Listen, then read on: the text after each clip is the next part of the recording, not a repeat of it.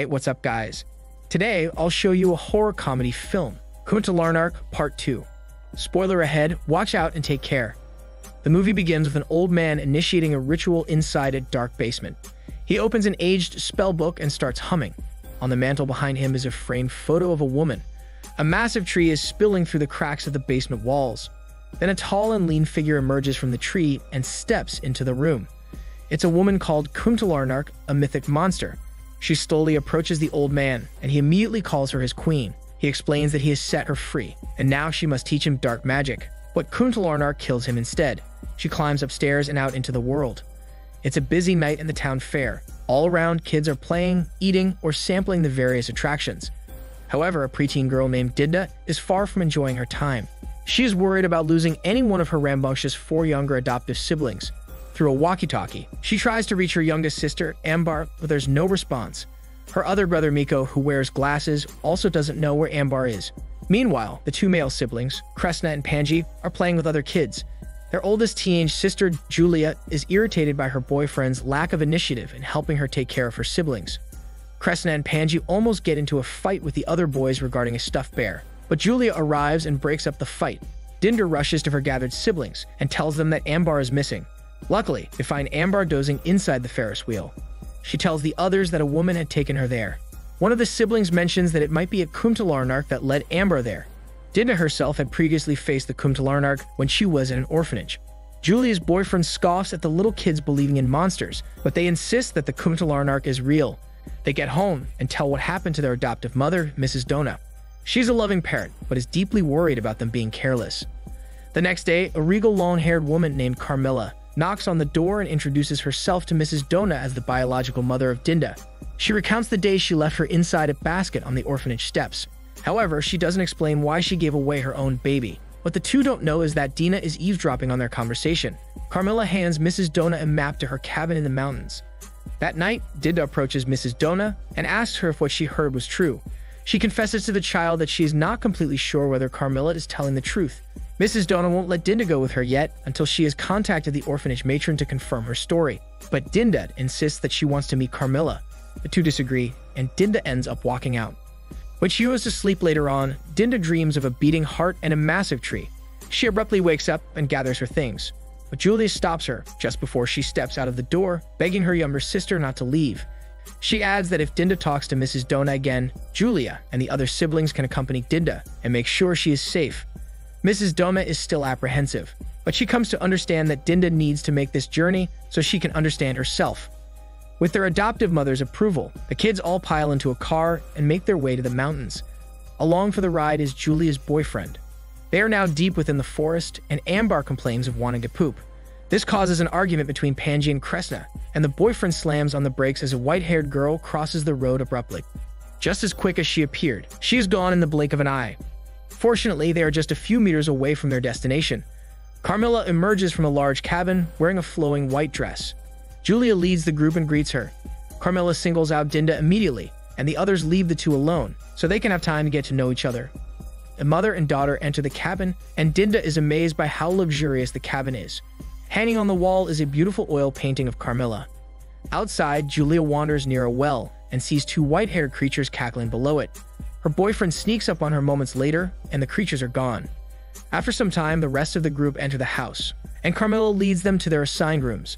The boys are all together in one room, while Julia and Ambar are rooming in another. Inside the boys' room, the boyfriend tries to entice the kids to join in his meditation, but only Miko actually stays. Kresna and Panji sneak out of the room and explore the house. They come across a room with a large white screen and a collection of shadow puppets. Kresna explains that the screen is used during shadow puppet shows. He demonstrates with a couple of the puppets and puts on an impromptu show. Meanwhile, Mrs. Dona visits the orphanage matron to verify Carmilla's story. The matron hands her a letter that was placed inside Dinda's basket when she was left there. The matron hands Mrs. Dona a clay pot and hairpin that looks like a tree branch that came with Dinda too. Back in the cabin, Dinda goes exploring too. She finds a workshop filled with pottery of various sizes. She grabs one from the shelf and inspects it. Carmilla comes inside and offers to teach her how to make clay pots too. Carmilla elegantly shows Dinda how to use the pottery wheel. They don't notice Ambar watching them from outside. The show continues, but something sinister happens. Panji watches in horror as a shadow of a tall woman with long black hair and sharp claws stalks toward Kresna and kills him. Panji screams out and rushes to the back of the white screen. But Kresna is okay and is actually bewildered by Panji's actions. Back in the boys' room, the boyfriend and Miko are still attempting to meditate. He shushes Miko for snoring and farting, but it's not Miko making that sound. Suddenly, he sees a white-haired girl in a pale white dress, shrieking at him. She leaps and then passes through the boyfriend's body before disappearing. He then starts muttering about how they're all in danger from the Kuntilanak. Miko freaks out and screams for help. They all rush inside the room, and Carmilla helps the boyfriend come back to normal. She explains that she must have done something to offend the spirits residing in the forest. On the other side, Mrs. Dona starts reading the letter. It was penned by Carmilla to be read in the event that someone tries to claim her daughter.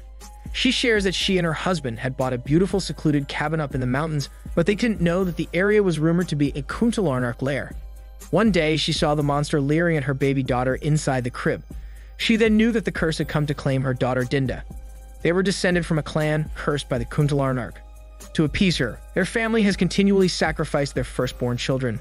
Carmilla's husband insisted that it's their duty to sacrifice Dinda, but Carmilla wanted to find another way to escape the curse.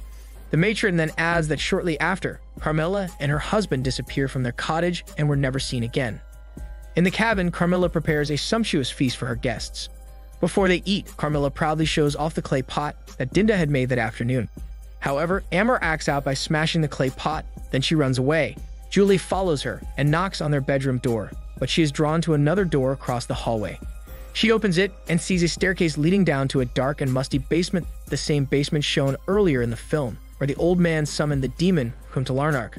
She goes down the stairs and discovers several framed photos of Carmilla, her husband, and baby Dinda covered with dust. Julia goes deeper into the basement and finds a large hole in the wall leading outside. Suddenly, the old man's corpse lands on top of her. She falls screaming to the floor and sees that inside the hole are the two white haired creatures, which she saw down the well earlier. Julia loses consciousness because of that. Miko excuses himself from the dinner table early. He is suspicious of Carmilla and the woods, and he wants to find some proof that she is not who she says she is. So he goes snooping around her bedroom and uncovers a wooden box filled with worms. Shortly after, Carmilla also goes inside the room once dinner is done. Miko hides in her closet and peeks through the slats like a peeping Tom with magnifying glasses. He watches as Carmilla levitates and pierces a lizard on the ceiling with one of her nails. Dinda comes to her bedroom, and Carmilla urges her to go to her bedroom so they can sleep for the night. Miko manages to escape, and he comes running to his siblings to tell them what he saw. But Kresna doesn't believe his smelly bullshit. However, Panji pipes up, telling the others about the apparition he saw while Kresna was playing with the shadow puppets. This conversation makes the boyfriend remember the words spoken to him by the white-haired creature. Finally, the group is convinced that there is no bullshit, and they are pretty in danger from Carmilla. Carmilla sings a lullaby to Dinda as she strokes her hair. Dinda gets another dream about a beating heart.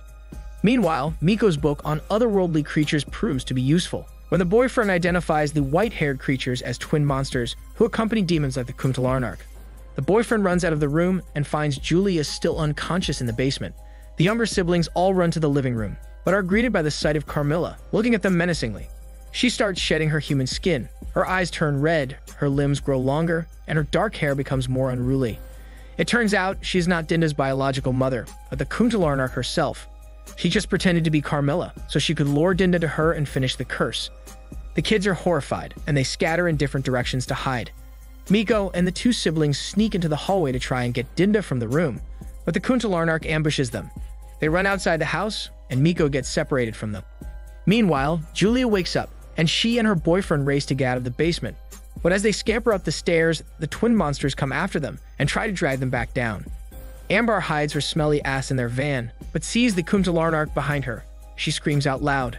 Miko finds himself in a swamp. He hides in the water as the Kuntilanak floats above him. He thinks he is safe, but the Kuntilanak appears behind him and screams his shitty name. Kresna and Panji get lost in the woods and emerge into a strange and hazy circus where dozens of kids are walking around with dazed looks on their faces. Kresna tries to ask a girl for help, but when she turns, she has the terrifying white eyes of a monster. The children all crowd around the two brothers, and they squeeze their eyes shut in fear. When they open them again, they see that they are still in the woods. However, vines snake all around their legs. Juliet and her boyfriend finally make it out of the basement. They head straight to Carmilla's bedroom and wake Dinda up. Julia tells her that Carmilla is really a Kuntilanak. But the monster herself enters the bedroom, looking like Carmilla once again. She calls Dinda to her and tells her that she loves her. Starved for the love of a mother she never knew, Dinda steps forward. But the boyfriend gets in the Kuntilanak's way. She gets angry and chokes his chick neck. He grabs an object from the desk behind him and hits her right in the meaty face. For a moment, she shows her true face as a Kuntilanak, and Dinda finally realizes that Julia was telling the truth. They both run, while the boyfriend faces the Kuntilanak head-on. Dinda and Julia run outside and look for the others. Mrs. Dona pulls up in her car, having made the journey after reading the letter. She explains to Dinda that to save her, her parents had banished the Kuntilanak into her lair in the basement with a spell that cost them their lives. However, their cursed family sent the old man to release and appease the Kuntilanak. The Kuntilanak is after Dinda and considers Dinda her own daughter she is entitled to because of the curse. Mrs. Dona also gives Dinda the hairpin that was in the basket her mother left her in. Its appearance makes her think of the tree inside the Kuntilanak's lair. Dinda wants to confront the Kuntilanak herself, but Mrs. Dona convinces her to hide instead. Meanwhile, the Kuntilanak throws the boyfriend out the window. She steps outside, and Mrs. Dona douses her with gasoline in an attempt to burn her, but she is impervious to fire, and it just makes her angrier. Mrs. Dona urges Julia to find Dinda and protect her. The Kuntilanak zeroes in on her and taunts her. Concurrently, Dinda scurries to the basement and enters the lair. Julia finds an axe and attacks the Kuntilanak with it. The monster's head flies off, but its mouth is still moving and singing a lullaby. Her torso merely grabs her GPS head and attaches it back again. Dinda finds herself in a sprawling and magical woodland inside the lair. In the middle of it is a stream. She follows a stream and comes across the massive tree she keeps seeing in her dreams. To her shock, tangled in the roots are her brothers. The boyfriend gets possessed by the Kuntilanak and grabs the knife. With erratic movements, he stalks closer to Julia and Mrs. Dona. The Kuntilanak arrives, and Dinda wields her mother's hairpin against her. They fall to the stream below the tree, and Dinda stabs the monster with the hairpin multiple times. This weakens her, and Dinda crawls to the tree, only to see a beating heart inside it. She finally realizes what her dreams meant. She was shown the way to kill the Kuntilanak by stabbing her beating heart inside the tree. The tree tries to defend itself by grabbing Dinda, using its tree hands, but she makes it to the heart and stabs it with the hairpin. Because of that, Kuntilanak is swallowed up by the ground. Dinda's brothers all get free, and Julia's boyfriend is no longer possessed. The happy family reunite and rejoice that they are all now safe. As dawn breaks, they finally leave the forest and its horrors behind. The movie ends by showing a shot of one of the clay pots inside Carmilla's cottage. It now depicts an illustration of a woman with long hair. The lullaby that the Kuntilanak sang plays, indicating that she is not gone forever. This is Daniel CC Movie Channel. Stay safe and enjoy your day.